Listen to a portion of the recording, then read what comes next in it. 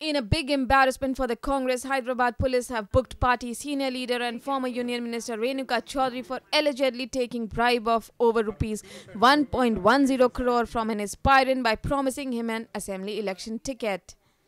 The petitioner B. Kalavati said that before assembly polls, Renuka Chowdhury had promised her husband Ramji Nayak Wyra assembly ticket for last year's election, but he did not give the same. The petitioner also said that Chowdhury took more than rupees 1.10 crore but cheated them. Telangana police have registered a case under the SC/ST Atrocities Act against Chowdhury. Kalavati has also alleged that her husband died due to pressure of the debts they incurred to raise the money. Chowdhury has, however, denied such allegations powered by NNIS.